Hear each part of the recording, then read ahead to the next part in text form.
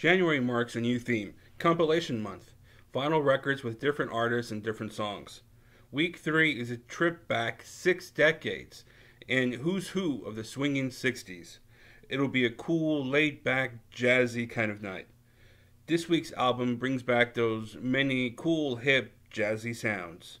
This Saturday night, we'll listen to Who's Who of the Swinging 60s at 6 p.m. Central U.S. time here on Radio Infinity.